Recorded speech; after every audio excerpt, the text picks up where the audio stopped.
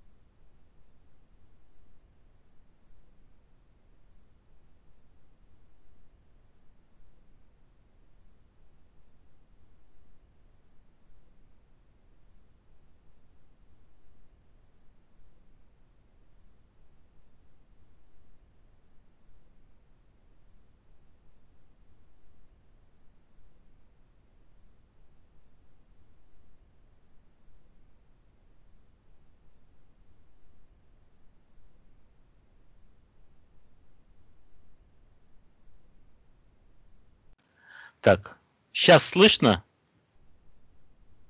Звук да. слышно? Да, я вот раз слышно. Да. Просил мне сказать. Да, да. Поэтому я переконнектился для того, чтобы э, проверить звук и посмотреть, что будет. Да, все слышно. Да, спасибо. Итак, а на, на каком моменте звук пропал или он не появлялся вовсе? Он вовсе не появлялся, мы просто не могли понять, э, вы а, или еще нет. Понятно.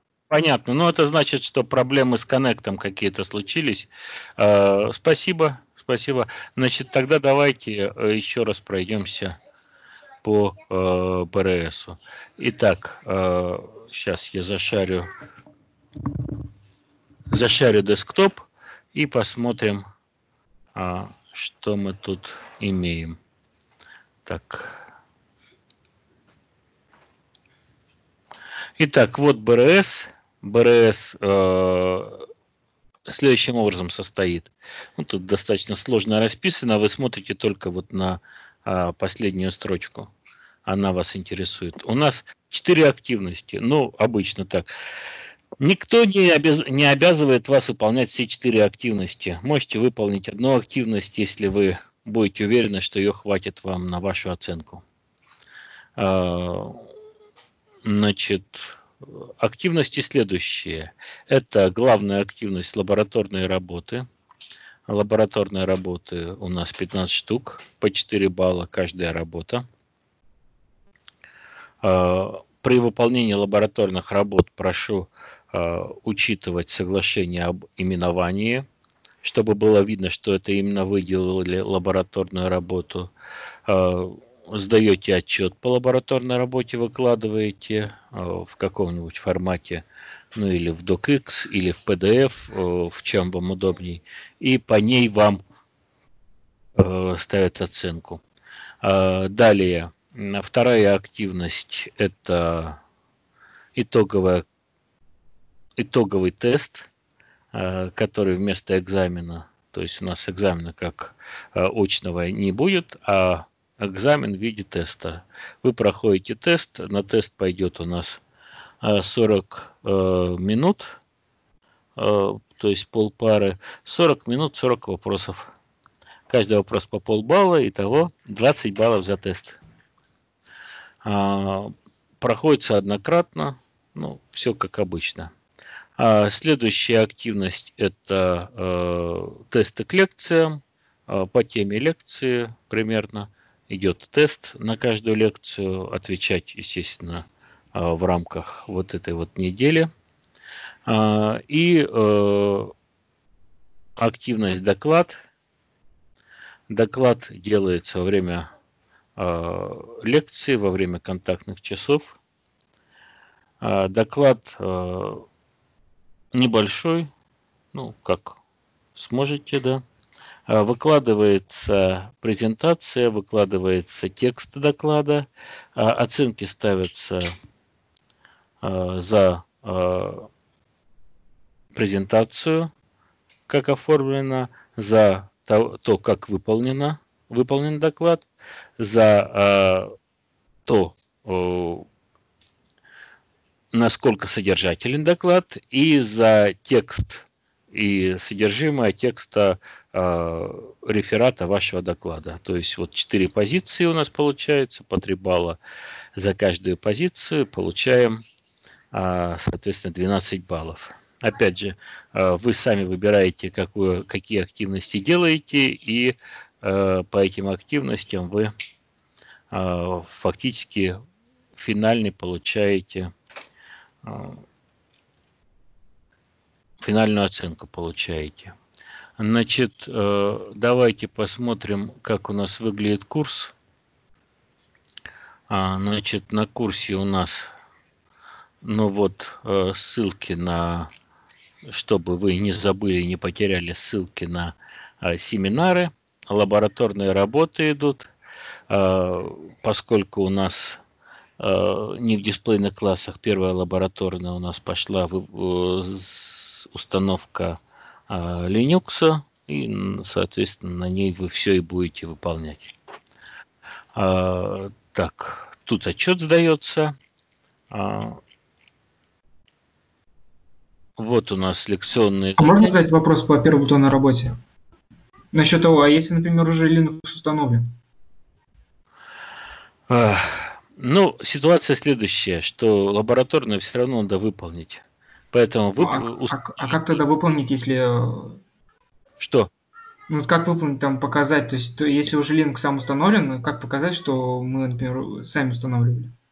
Вот у вас Linux установлен. Установите на нее виртуальную машину и установите в нем Linux, чтобы показать, что вы э, сами можете ставить Linux. Все. Ладно. А можно еще вопрос, пока мы далеко не отошли от этого темы докладов? Э, вы сказали выбрать сами, а Хотя бы направление нам будут давать? Сейчас, сейчас тему докладов, да. Значит, вот доклады. Вот видите, что э, выкладывать доклад можно только после того, как выбрали тему. А темы находятся на каждой лекции. Вот видите, под знаком вопросика, вот на первую лекцию какие темы были. Давайте щелкнем и увидим темы докладов на первую лекцию. Соответственно, э, темы докладов на вторую лекцию. Вот они. И так на каждую лекцию идут темы докладов. И мы должны будем каждой лекции доклад подготовить или на какую-то одну? Одну ли вам один доклад каждому человеку. Просто доклады раскиданы по лекциям. То есть к каждой лекции привязанный доклад. Э, вы выбираете доклад, и я вижу, кто собирается выступать на этой лекции. Понятно? Да, спасибо. Вот так вот достаточно все очень просто. А можно еще один вопрос, пожалуйста? А. А, мы выкладываем текст э, в Teams и презентацию, правильно? И выступаем с этим и докладом. Вот у нас доклад, вот видите, в Туисе написано. Mm-hmm. Туис, да вы выкладываете э, два файла фактически, презентацию. Э, в чем вы сделаете, я уж не знаю. Это вообще на втором курсе мы изучаем, как делать презентации, э, поскольку вы... Ну, чтобы... Почему на втором курсе? Потому что сейчас вы помучаетесь, будете делать презентации, и э, на втором курсе вы э, узнаете, наконец, как их нужно делать. Дело в том, что научные презентации отличаются от бизнес-презентаций достаточно сильно и э, делаются разными средствами. Например, научные презентации в PowerPoint обычно не делаются. Бизнес-презентации делаются в PowerPoint.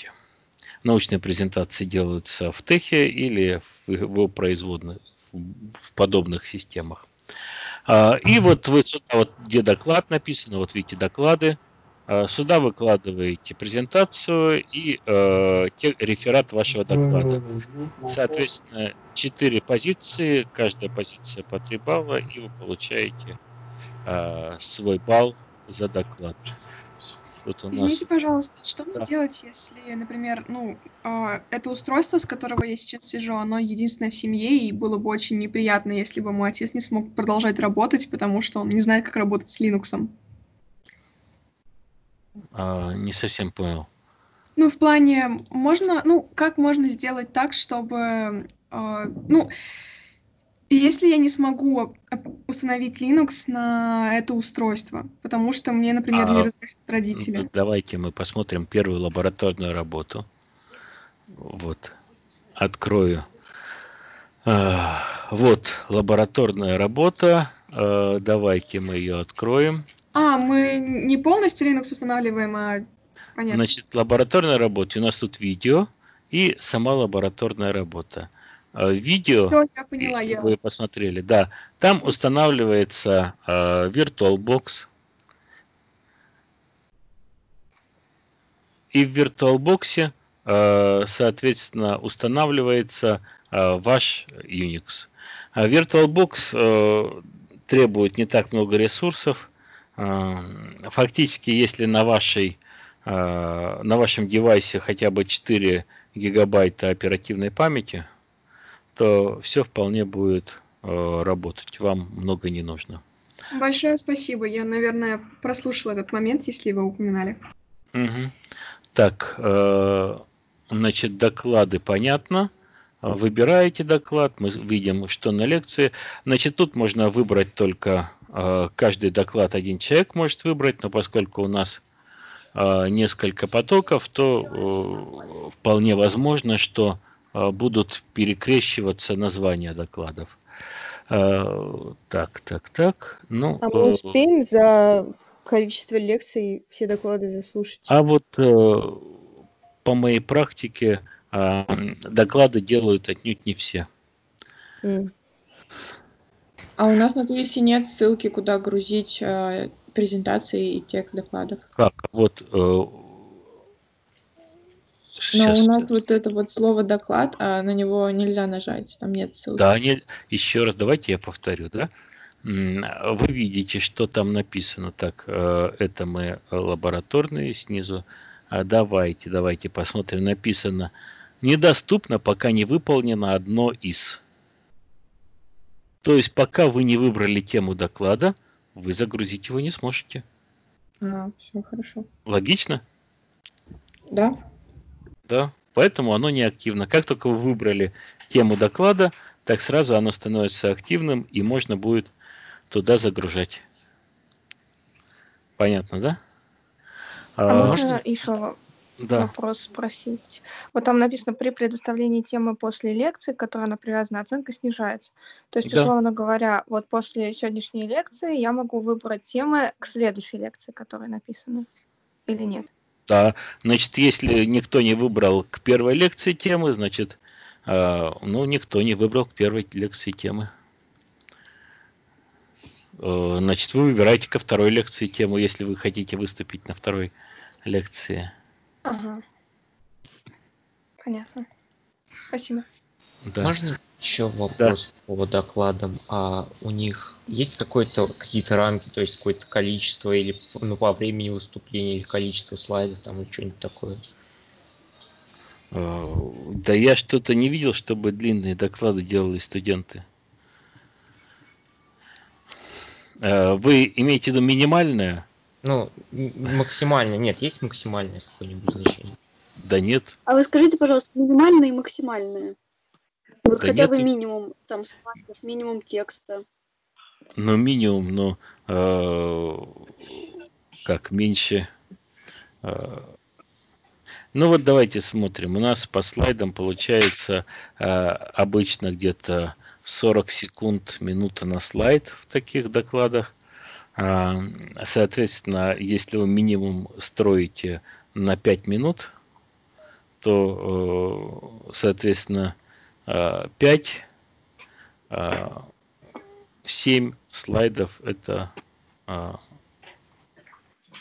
нормальный доклад, в принципе. Особо, э, чтобы не напрягаться. Вот так вот. Хорошо, спасибо. Понятно, да? Значит, э, материалы к лекциям у нас идут, собственно, слайды к этим лекциям. Э, чтобы их смотреть, я э, запишу видео по мере курса. Видео выложу, чтобы вы смотрели видео этих лекций и э, материалы лекции у нас фактически идут э, вот в набор таких э, слайдов. Это э, для удобства слайды можно распечатать и э, слайды можно вот в таком вот виде э, делать.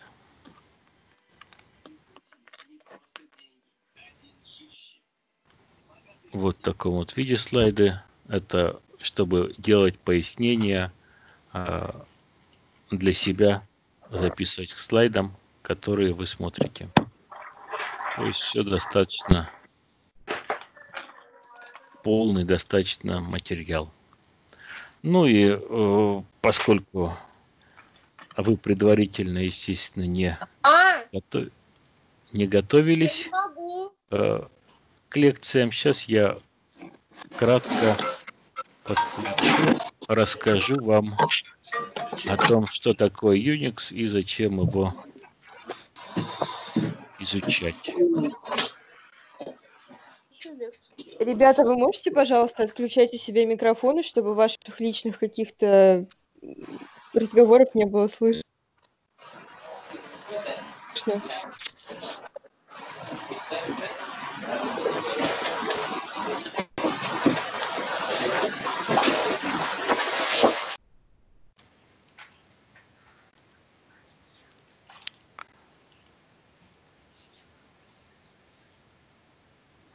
А можно вот задать вопрос по первой? Да, вопрос, да.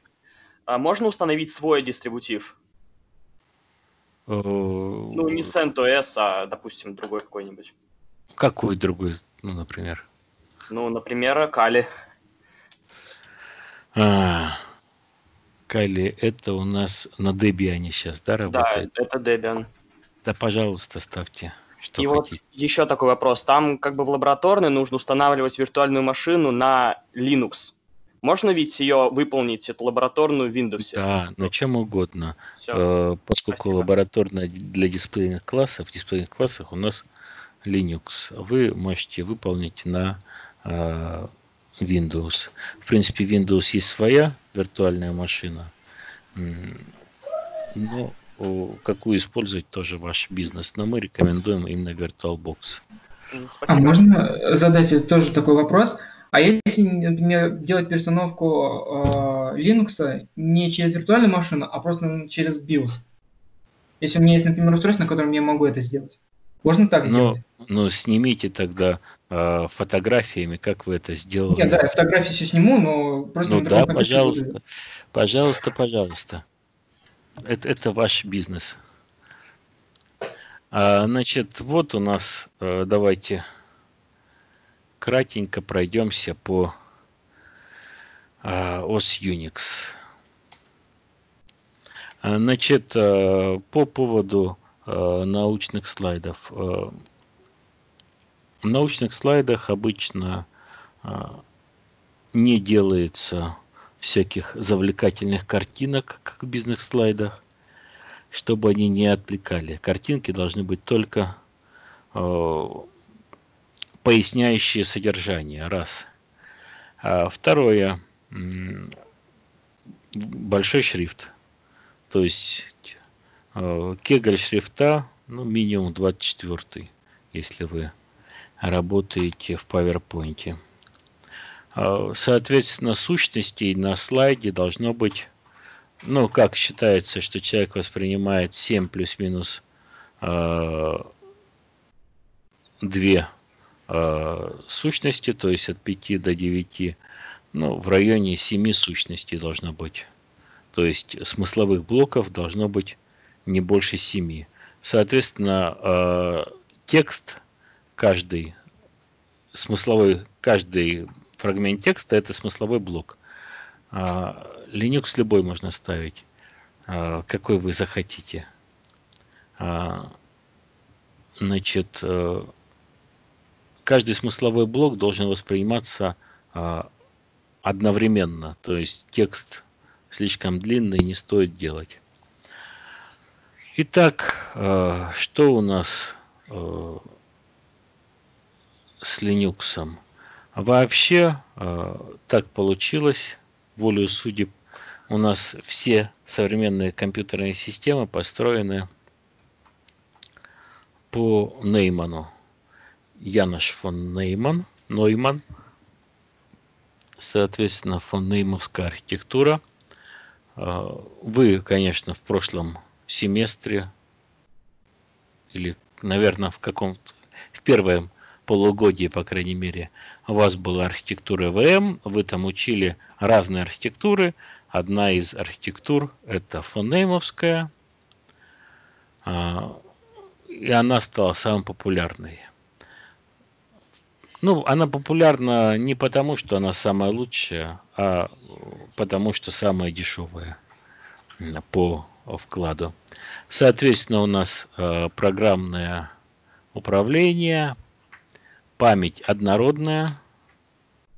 Э, в гарвардской архитектуре, которая э, является неким э, другим подходом, там отдельно идет память для данных и отдельно память для команд.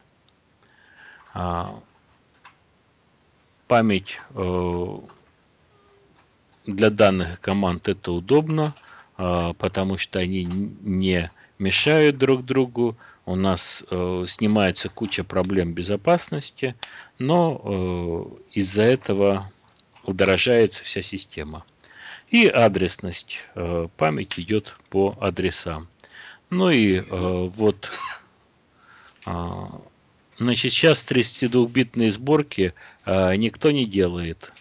Поэтому все сборки сейчас на 64 бита. Чтобы найти 32-битные сборки какого-то дистрибутива, это нужно поискать. Э, значит, вот у нас основная а, структура компьютера, то есть э, центральный процессор, то есть, собственно, тот, который обрабатывает все команды, э, основная память, где все хранится, и э, устройство ввода для связи, вывода для связи с внешним миром. Все это связано с помощью некой системной шины. Системная шина может, это абстрактное понятие, может иметь разную архитектуру. Э, ну, простейшая архитектура это действительно шина. Более сложная архитектура это, э, скажем, коммутатор, switch, где э, соединение идет peer-to-peer. Если у нас одна шина большая, то нам нужно еще управлять этой шиной, разрешать доступ, запрещать доступ. А если у нас коммутатор, то управлять им как таковым не нужно, поскольку и так идут Э, точка-точка связь. Э, скажем, раньше у нас, как вы помните, на архитектуре И-386 э, у нас была общая шина с управлением. Потом, начиная с AMD процессора К7, у нас стали вводиться свечи, то есть подключение стало происходить точка-точка, peer-to-peer, два устройства, что улучшило работу. А, центральный процессор, а, понятно, что делает, конечно, извлекает а, программу, декодирует, то есть на свой язык переводит, и потом исполняет машинные команды. Ну, понятно, что процессор э, в каждое время может выполнять только одну программу, одну команду. Он э, однозадачный. Э, ну, тут нужно сказать, что есть у нас дополнительные архитектуры суперскалярные, когда выполнение команд распределяется так, что они в разное время занимают э, внутреннее устройство. Ну, процессор состоит из кучи устройств, э, декодирования, ввода, вывода, арифметических устройств. И э, в разное время эти устройства или заняты, или не заняты. Соответственно, в суперскалярных архитектурах у нас распределяются команды таким образом, чтобы более равномерно занимать все устройства. Ну и кроме того у нас э, существует э, многозадачность. Э, многозадачность заключается в том, что процессор э, выделяет каждой задаче определенный квант времени, а потом переключается на другую задачу. А память, ну, как обычно, э, есть три параметра – можно выбрать два любых. Объем, быстродействие, стоимость. Э, вы можете выбрать объем быстродействия, тогда стоимость будет космическая. Вы можете выбрать стоимость, объем, тогда быстродействие будет маленькое и так далее. Ну и э, по этим параметрам у нас можно построить Э, иерархию видов памяти, такую иерархическая память. Это у нас э, самая медленная внешняя память. И самая быстрая – это регистровая процессорная память. Ну и э, то, с чем вы, что, что вы знаете, это основная память, э, оперативная RAM а, с которой, собственно, вы работаете. Но к памяти же следует отнести и устройство хранения, и они точно таким же образом распределены. От быстрых до медленных распределяются устройства хранения. А регистровая память – это память внутри процессора, собственно, где он сохраняет результаты вычислений и где, собственно, вычисления проводятся – а кэш – это промежуточная память а, для убыстрения доступа к основной и так далее. А вот вывод осуществляется несколькими способами. Но самый простой – это программируемый ввод-вывод, когда процессор занимается каждой операцией ввода-вывода то есть он постоянно занят, думает об этом. Следующий шаг это вот вывод с помощью прерываний, то есть процессор не думает о ваших операциях, а когда вам нужно их совершить, вы обращаетесь э, к процессору о том, что у меня операция ввода-вывода, пожалуйста. Это так называемый э, PIO, процессор input-output. И э, самый быстрый Самое прогрессивное – это прямой доступ к памяти, а когда у нас внешние устройства просто а, организуются как элементы оперативной памяти, и к ним идет адресация просто как к оперативной памяти унифицированная. Для чего нам нужна операционная система? Операционная система фактически это прокладка между э, железом и программами. Ну, вам-то, собственно, операционная система-то и не нужна. Вам, вам нужны э, пользовательские программы. Э, к сожалению, э, каждая операционная система несет в себе какую-то идеологию, какой-то жизненный подход. И имея э, этот жизненный подход и идеологию, она растягивает его э, и на э, прикладные программы. То есть прикладные программы, а, собственно, эту идеологию подхватывают. Ну, например, Unix у нас идеология, а, ну, так, приближенно, скажем, математическая. То есть, как в математике у нас набор аксиом, из аксиом мы собираем леммы, теоремы и так далее, по кирпичикам строим. И Unix тоже строится по кирпичикам. А, маленькие кусочки, потом собираю вместе. То есть по идеологии для а, операционного окружения у нас каждый, каждая программка, утилита должна делать какое-то одно дело. э, но делать это хорошо. И э, должны иметься средства связи э, программок э, друг с другом. То есть вот такие вот э, межпроцессные взаимодействия. А э, идеология, скажем, Windows немного другая. Идеология Windows такая, что каждая программа должна делать все сразу. Э, Правда, она все делает плохо, но зато все делает. И фактически подменяет собой кучу других программ. В результате у нас много программ, которые пересекаются функционалом. а, Нужно выбирать что-то, чем заниматься и так далее. А, Ну, есть, скажем, типа, ну, например, NetWare была такая операционная система, вы уже ее не помните, наверное. У нее была идеология инженерная, она должна была работать хорошо на самой плохой технике. Собственно, из-за этого был взлет этой операционной системы. Одно время она захватила рынок операционных систем сетевых и фактически была единственной такой системой.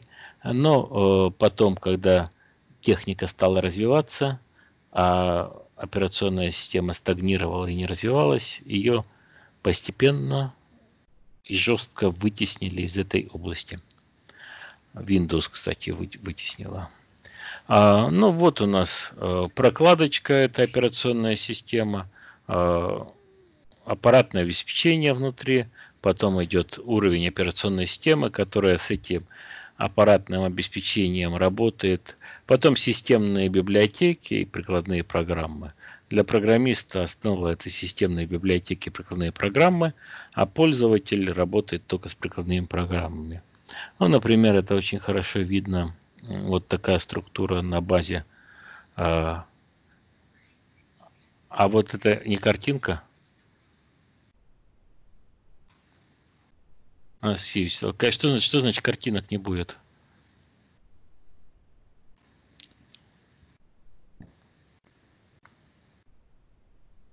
Наверное, люди имеют в виду презентация. Слайды не видно, что ли? Нет. Нет. А, а что сказать нельзя было? А, вы, как- вы как-то это как подтормаживаете. То вы не можете сказать, что идет э, нету звука, то не можете сказать, что нет слайдов. Сразу говорили. А с, с голосом сказать э, нельзя, потому что тут э, мусор идет в этих. э,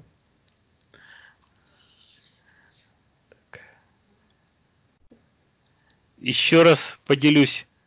Так, теперь слайд увидели? Да. О, программист-пользователь, круто. Пожалуйста, вы все сообщайте. Тут же сейчас видно слайды. Да, да, да, картинки. Вы реагируйте, пожалуйста, на... э, Ладно, я проще, да, я запишу эти все э, лекции, и чтобы вы дома их смотрели, чтобы никаких проблем у вас не было. Это будет проще. Э, Кроме того, мы, мы же будем слушать вас со следующего занятия. Будем наслаждаться вашими слайдами. А, вот это у нас э, самый пример чудесный. Это Android, с которым вот сейчас э, скандалы с Huawei. А, дело в том, что, э, конечно, там есть операционная система Android, а, но э, Google предлагает открытую операционную систему. Пожалуйста, пользуйтесь сколько угодно.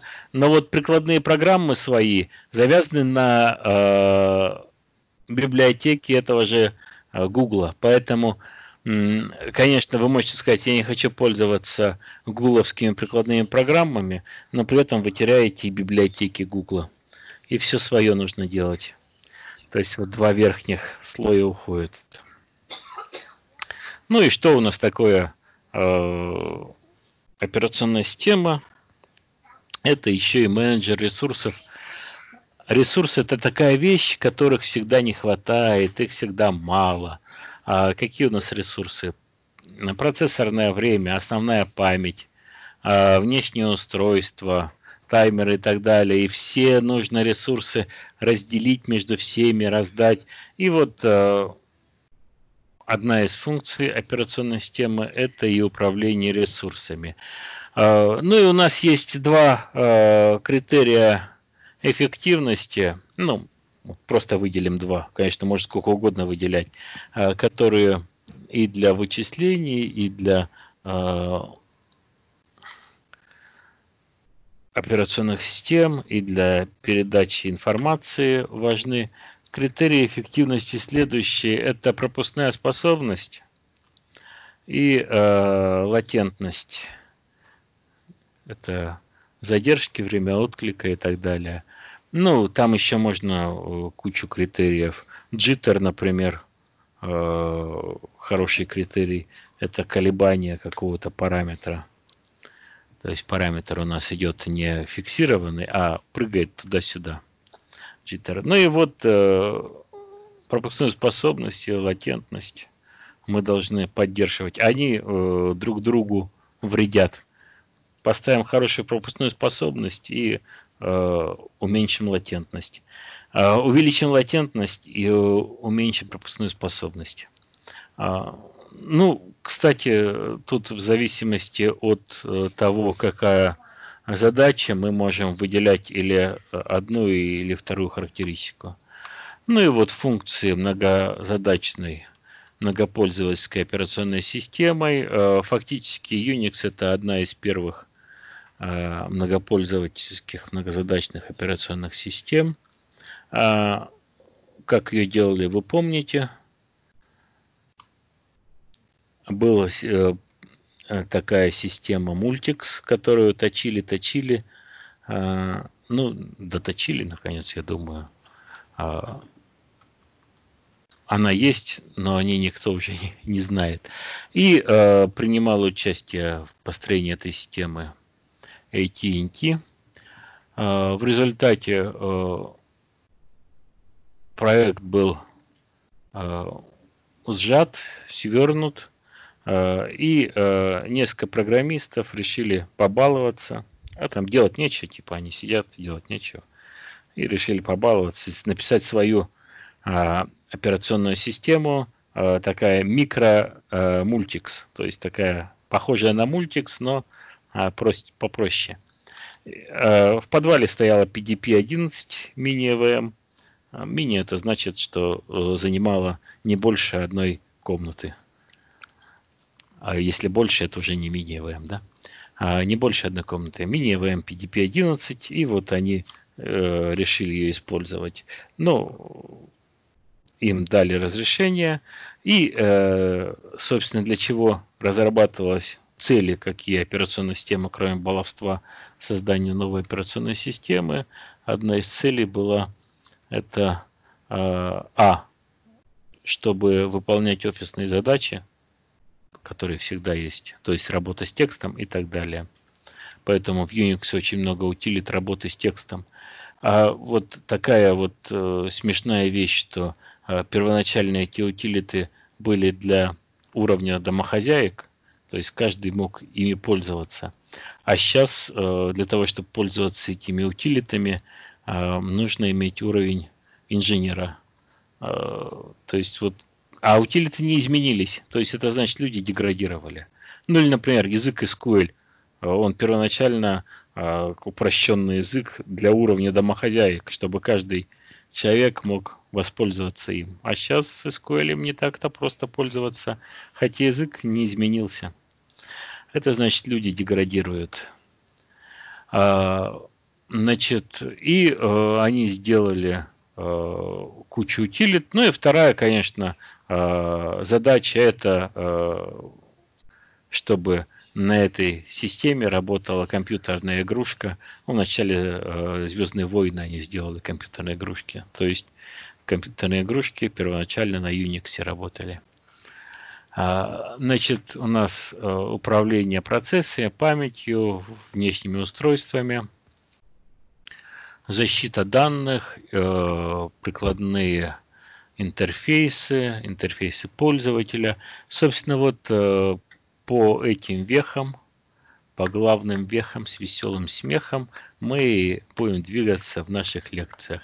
По очереди пройдем э, по разным этим пунктам.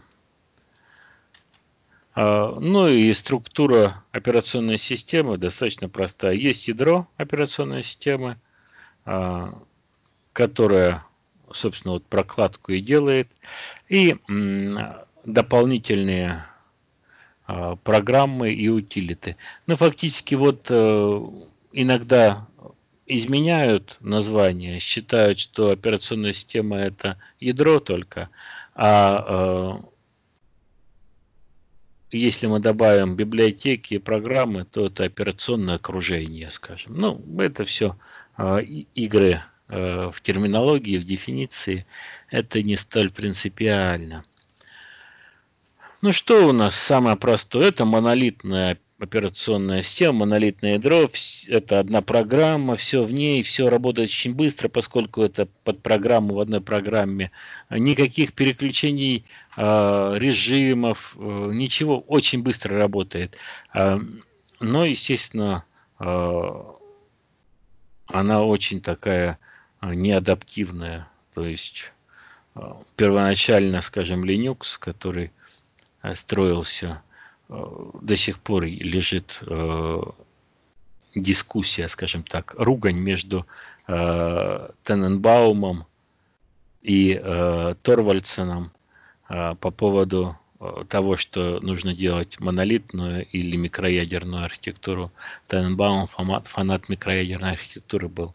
Ну, собственно, как это Linux-то написали-то? У Тененбаума есть э, чудесная книжечка – типа современной операционной системы, где в качестве лабораторных было написать свою операционную систему. Ну и э, Linus э, решил, ну вот сидел, занимался, э, лабораторные работы, да, выполнял, пописывал эту операционную систему в виде лабораторных работ, Minix там операционная система, ну и написал Э, криво написал какую-то другую операционную систему, забросил ее а на э, файлохранилище, и администратор, э, думая, как назвать каталог, куда это чудо кинул, и назвал его Linux. И с тех пор операционная система так называется Linux. Ну и вот, естественно, Таненбаум был в шоке, оскорблен, что так его идею испортили. И ругался с э, Линусом очень долго. Ну и э, где этот Minix, а он есть, рабочая операционная система, можете поставить, поиграться. А где э, Minix, а где э, Linux. Вот так вот. То есть э, из этого следует что, что это такое понятие скрипка Энгельбарта – Э, то есть такая э, вещь, которая делает все очень хорошо, но э, которой может пользоваться только большой специалист. В результате она никому не нужна. Ну как в чем преимущество автомата Калашникова. То, что э, он, конечно, плохо стреляет, э, в молоко часто идет и так далее, но он простой, тупой и может пользоваться любой солдат. Э, ну, это так же, как и у нас в конце 19 века вместо сабель вели шашки, потому что саблей нужно уметь фехтовать, а шашкой не нужно, это так тыкай и все. А вот все, все упрощенное побеждает. Все дешевое и упрощенное. Так же, как э, Ethernet победил все остальные протоколы. Потому что тупой и простой. И дешевый. Очень дешевый. А, значит, э, вот у нас чудесная эта картинка. Вот у нас ядро. А, все, что ниже толстой черты, это ядерная пространство, выше это пространство пользователя. Соответственно, как вы помните, у нас э, в Intel есть несколько колец защиты. Вот кто вспомнит, сколько их штук? А вы даже не помните, сколько, что, что такое кольца защиты? Три штуки, нет? А, Ну, как это? Дважды два, семь, восемь, где-то так. Четыре кольца защиты. А, Используется обычно а, два. а, Это нулевое и третье. Цифра 3 тоже фигурирует. На нулевом крутится ядро, на третьем пользовательское. Ну и, естественно, чтобы гибко сделать красоту, вот эту вот скрипку Энгельбарта сделать, мы делаем микроядро. Это вообще чудо, это прекрасная вещь, э, микроядро. Э, У него только один недостаток, очень тормозное. Работает она с помощью посылки сообщений.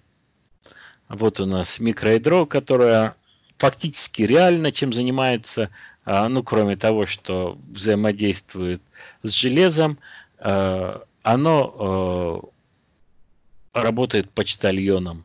То есть оно принимает сообщения от разных серверов ядра и от процессов и рассылает им данные. То есть вот оно IPC реализует. Очень хорошая вещь. В каких операционных системах у нас микроядро? Кто помнит?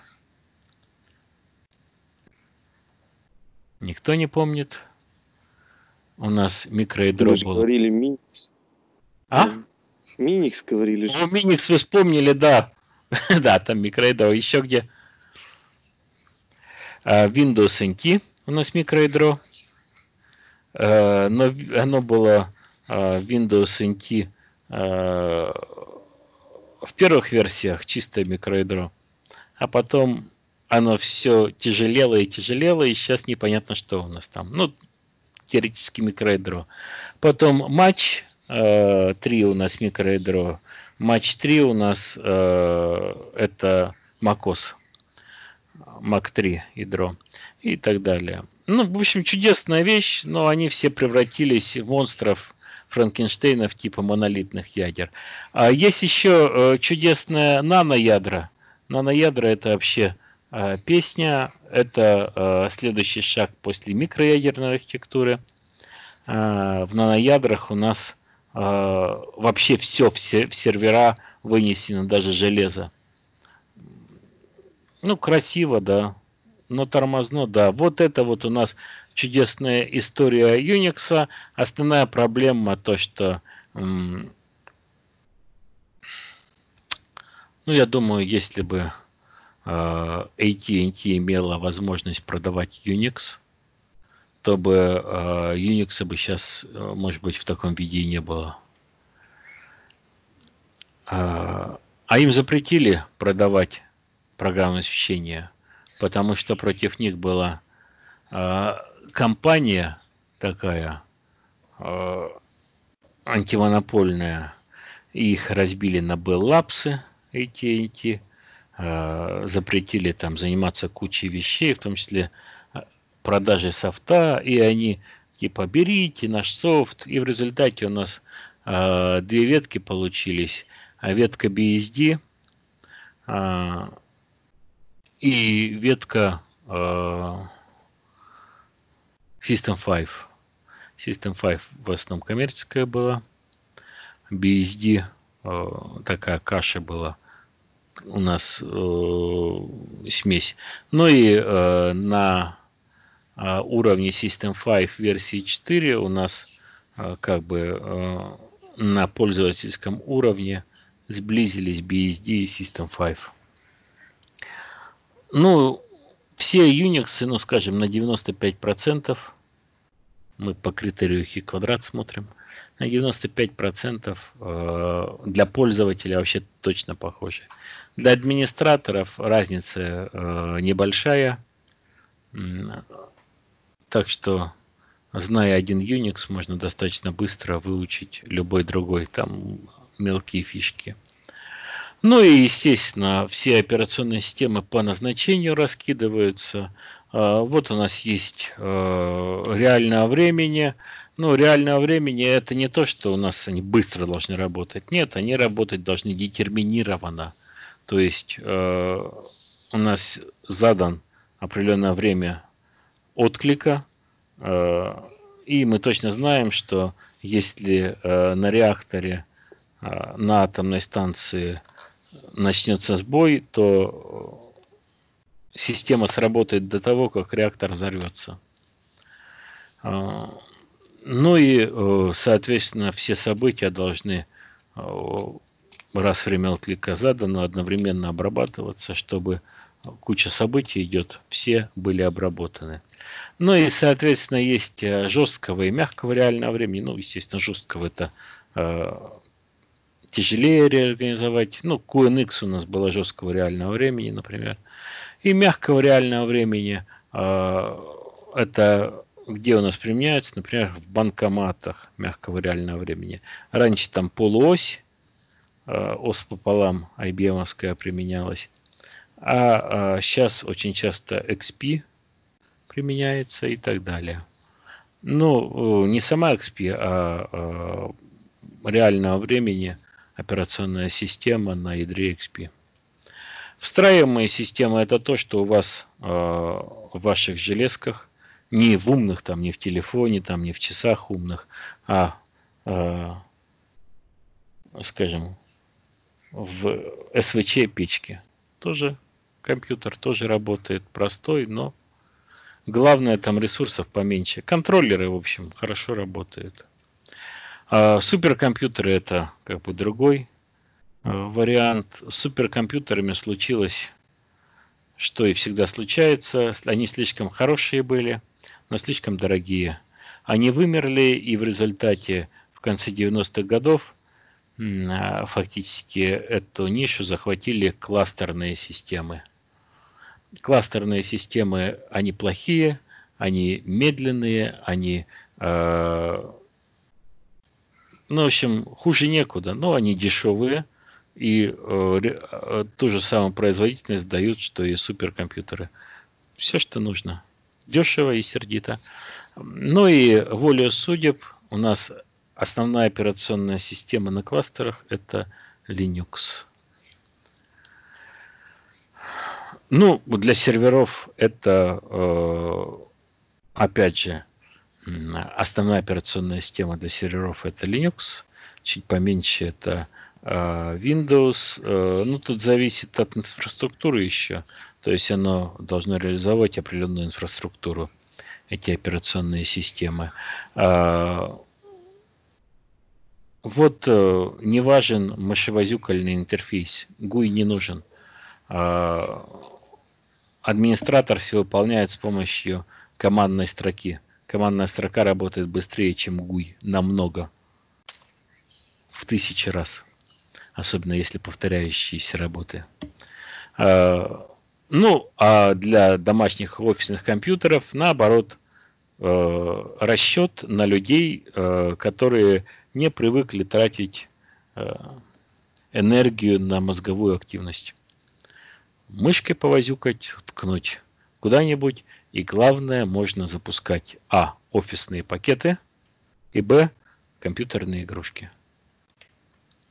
А, исследовательские операционные системы это когда э, люди занимаются наукой, пилят новые операционные системы, которые никому кроме них не нужны, и которые после того, как грант кончается, или люди, которые занимались ими, э, радостно умирают и идут на кладбище операционных систем. Ну, вот, собственно, резюме. Дополнительные материалы, которые... Э, а вот Олифер уже э, новые издания. А, значит, э, дополнительные материалы, которые можно почитать ну и вопросы для самоконтроля, которые вы, может, э, себе ответите. Ну вот, э, собственно, э, вся наша презентация. Есть ли у вас какие-нибудь вопросы? Есть ли у вас какие-нибудь пожелания? Можно вопрос? Да. Скажите, я ставил дистрибутив Кали около двух лет назад, и разумеется, имя учетной записи не совпадает с, ну, с моим настоящим, и как я это делал в компьютерных классах. А как э, поступать в такой ситуации? Это на вашей железке стоит, но вам все равно нужно же показать, что вы ставите. Ну, Ну, виртуальную машину, разумеется, да. я поставлю, но... Состав, принципе, э, сделайте еще одного пользователя для выполнения именно этих а, лабораторных работ. Все хорошо. А, скажите еще, а во время лабораторных работ мы будем работать с э, корневым каталогом? Э, Нет, там рутовых прав не нужно. Хорошо, Э, все, спасибо. А нам нужно в лабораторных работах а, в отчет включать ответы на контрольные вопросы Да, просто? да, да. Отвечайте на контрольные вопросы, пожалуйста. Надо, да? А Да. можно спросить насчет э, докладов? Мы доклады выбираем, которая была вот на эту тему или на следующую лекцию? На какой лекции вы собираетесь выступать? К каждой Мгм. лекции привязаны доклады. Вот вы собираетесь выступать на лекции номер 6, например, да? Выбираете доклад для лекции номер 6. Все, понял. А вы сами планируете, когда вы хотите выступать. Все, хорошо. Один раз, да, на всего лишь выступить или несколько раз? можно? Э, Достаточно одного раза. В каком формате мы будем выступать? Э, Шарите десктоп и э, рассказывайте. Еще раз первые четыре слова не понял. Шарите десктоп и рассказывайте. Понял. Дмитрий Сергеевич, Еще- Да? извиняюсь, что влезаю, но, по-моему, у студентов нет возможности расшарить десктоп. сейчас я смотрю.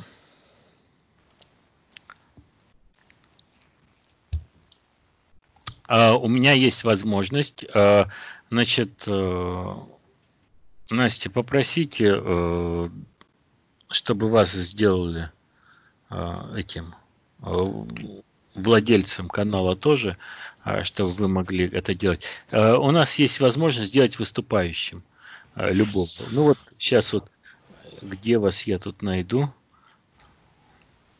А, Демидова Анастасия Вячеславовна. Вот я вас делаю выступающим. Попробуйте зашарить десктоп. Сейчас, подождите. Ага, все. Теперь есть. Шарит? Вот Да-да-да. видите? Вот в этом-то вся фишка. То есть каждого можно сделать выступающим, и он может зашарить десктоп по требованию. Ничего не отображается вроде. Зашарь что-нибудь, э, чтобы люди увидели, что шарится. Сейчас там ничего такого страшного нет уж на десктопе. Ох. Настя, ну зашарь, ну что-нибудь там. Вот. Пусть люди увидят, что вот так. Да, видно. Вот ты захватила десктоп. Вот. Вот. Все, спасибо. Извините, а можно вас еще попросить э, нам презентацию скинуть, а то начало пропустили, и мне очень бы хотелось часть, ну, часть Ну, там материала себе записать. есть э, А на туисе трудно взять? А, все, Нет? все, я просто, я видела там только видеоуроки, извините. Нет, там презентации на каждую лекцию в нескольких форматах. Для э, 3 на 4, для 16 на 9, для распечатки и для пометок. Еще вопросы? Вопросов больше нету? Нет, Скажите, пожалуйста, а у нас Да. 15 лабораторных работ, правильно? Да. А мы на одно практическое занятие, в которое входит две пары, мы делаем одну лабораторную или две Вам сразу? каждую неделю нужно сдать две лабораторных работы. Как вы будете делать, э, это ваше личное э, планирование времени. Спасибо. То есть мы за два дня должны сделать две, лабо- две лабораторные работы. Почему за два дня у вас? Потому что у Каким меня вторая, у меня вторая лабораторная работа, э, срок действия истекает через два дня. Да, должны, да, в- субботе сделать две лабораторные работы. Они простые настолько, что там думать вообще не надо. А еще в задании есть э, после хода работы какое-то домашнее задание, отдельный пункт. Его тоже надо вставлять в отчет. О, с- с- с- с- э, где это там? Первая лабораторная работа задание на туисе файл, который. Нет, не нужно ни домашнего никакого там. Это, Всё это не нужно, да. Дмитрий Сергеевич, извините, пожалуйста. Я бы сказала, что вот домашнее задание как раз нужно вставить в отчет. А что там за Процесс домашнее задание? Там как раз э, после установки на виртуальную машину, есть несколько заданий, которые нужно сделать в установленной А, операционной это, это у меня как домашнее там обозначено, что ли? Да-да-да. Там самостоятельная работа. Значит, я что-то неправильно назвал их. Да, и это нужно выполнить. То есть в отчет включаются только вот эти Да. задания домашнего Нет. задания. Нет, а сам процесс описывается как... Нет, описывается, как ставится, чтобы мы видели. Ну, скриншот это сделать-то можно? А Логично? просто вот про эти команды, которые в домашнем задании, э, про них нет информации выше в самом описании лабораторной, и А это вы, пожалуйста, вас еще в интернете не заблокировали. ладно, хорошо. Еще У меня- вопрос. А у меня телефон Huawei, у меня есть доступ в Google? А вы попробуйте. Практика критерий истины. Нет Гугла, будет Яндекс, пожалуйста, в Яндекс. Э, Покупайте Просто телефон. Samsung. А вдруг мы не найдем а, решение этих задач, и что нам делать в этом случае? Ну, напи- напишите, что я не могу решить эти задачи. Все.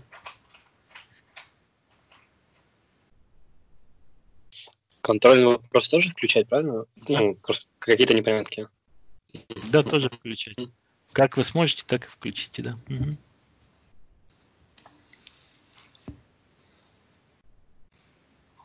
Все?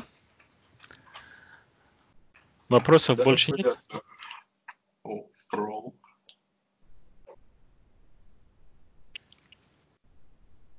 Да, все, Есть? спасибо. У нас еще Всё. есть тест. Тесты надо Тест, делать. да, но я сказал, тест это отдельная активность. У вас четыре активности. Вы можете выполнять любой, любые набор из этих четырех активностей. Э, Каждому достаточно его оценка. То есть кто-то хочет, кому-то тройки достаточно, кому-то четверки достаточно. Ну и человек каждый набирает количество активности на эту оценку. Если вам не нужна пятерка, зачем вам напрягаться делать большое количество активностей? Правильно? А вот можно еще вопрос? Да. А вы будете отмечать присутствующих на лекции? Потому что на, ну, на других дисциплинах у нас отмечают. Значит, э, ситуация следующая. Э, Поименно э, мы не отмечаем, а мы отмечаем э, общее количество присутствующих на лекции. А поименно нет. Понятно, спасибо. Можно еще один вопрос? А зачем отмечать общее количество присутствующих на лекции? А, Это для того, чтобы, э, чтобы преподаватели не расслаблялись. Преподаватели задают после каждой лекции э, отчет, сколько людей пришло на их лекцию. И все. Ужасно. Зачем это от делать? вас зависит. Это же не я придумал, правильно? Нас, нам спустили такое распоряжение, мы его выполняем. Так, еще вопросы? Да, можно э, спросить кое-что насчет э, проведения самих лабораторных? У нас по две пары в неделю. А, Это мы с э, теми, кто проводит лабораторные, сами договариваемся, как это будет происходить? Или уже это как-то решено? Значит, э, суть такая, что вы лабораторные делаете, когда хотите, а эти пары вам даны для э, контактных часов э, с э, семинаристами, где вы задаете э, свои э, вопросы, если они у вас есть. А Или не задавать, задаете эти вопросы, если они у вас их у вас нет. а где задавать их, если они есть? Э, Ну, так вы подсоединяетесь в эти пары. Во время этих пар вы подсоединяетесь и спрашиваете, а какие вопросы у вас накопились и у семинаристов, и все. А, то есть будет проводиться собрание в Teams. Ну да, это то есть вот это эти пары для того, чтобы вы взаимодействовали с семинаристами и задавали вопросы. Не- Вы не обязаны торчать все время в этой паре. Если у вас лабораторные сделаны и вопросов нету, то это ваш бизнес. Спасибо большое. Дмитрий Сергеевич, можно девушке вопрос? Какая у вас группа? У меня НВИ БД 0119. НБИ? Да. А а у вас в календаре нету пары по лабораторным работам? Надо посмотреть. в календаре есть или нету? Сейчас поглянем.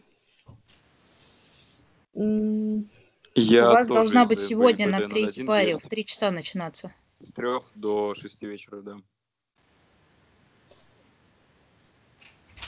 Да, да, у нас есть. Есть? Да, да. Вот это и есть семинарские занятия, Мгм. лабораторные. Спасибо. Спасибо. Так, еще Пожалуйста, вопрос возникли? Я не понял, во сколько? Лейла. У вас в календаре должно высветиться. Лекция на сегодня закончена? У нас... в- Да, закончилось все. Календарь. А после лекции что будет? Ничего не будет или что? У вас в Туисе прописано, когда у вас занятия и ссылка, если у вас в календаре нету в Тимсе. Ну, календарь там есть. Там и написано... Ну да, вы подсоединяетесь и взаимодействуете с вашим семинаристом. Сейчас я, я, я, я покажу. Э, об- э, технология программирования. Нет, это не то. А что, там есть написано. 14 часов. Нет, нет, нет, нет. Давайте вы сами со своим расписанием разбирайтесь. Это не, не повод, чтобы на лекции смотреть расписание ваше по другим предметам.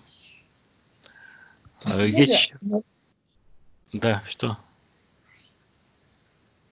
Это же не имеет Я отношения к операционным системам. Это не имеет отношения к операционным системам. А сегодня после лекции что будет? Не знаю по расписанию, по вашему. Смотрите свое расписание и учитесь по нему. Сейчас я пос-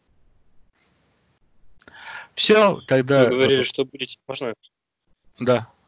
Вы говорили, что будете записывать видео, ну, лекции. Так, Да. Следующая лекция таки будет или как? Или просто запишите и Значит, можно... а, так, на следующей лекции «Контактные часы» мы должны будем, а, значит, вы должны проработать лекцию дома. А на лекции мы, во-первых, слушаем а, выступающих, которые расширяют тематику лекции. Там вы увидите, что выступления каждой лекции привязаны к тематике этой лекции.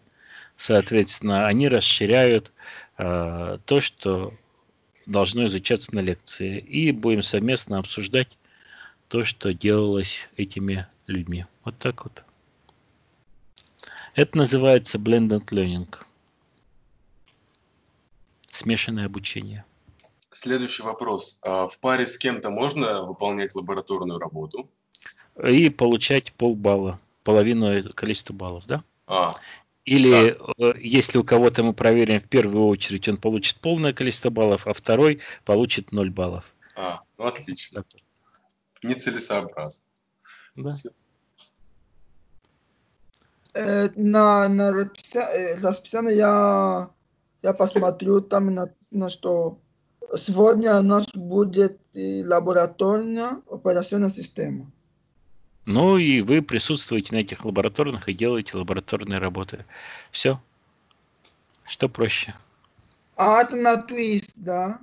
На Туисе все есть. А сегодня все, сегодня только это все, да? Да. Хорошо, спасибо. Еще один вопрос есть. А как мне узнать, кто, что кто-то другой взял уже эту тему доклада? Я так А, посмотрела, у э, меня там только моя Вы группа. щелкаете на теме, и она блокируется. А, Мгм. спасибо.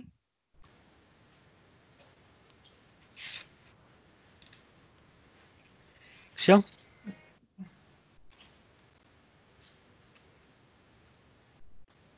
Думаю, все.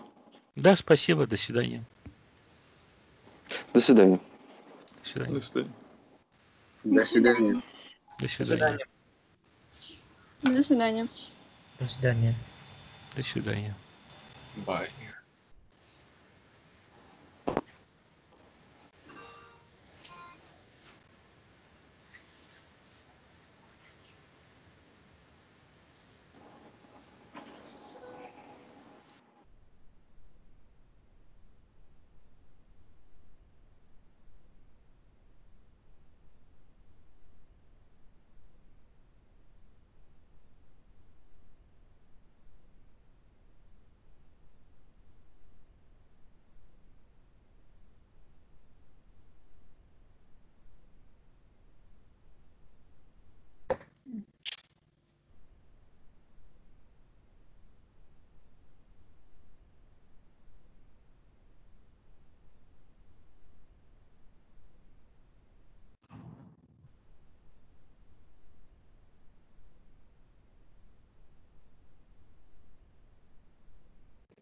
Paralympic Station.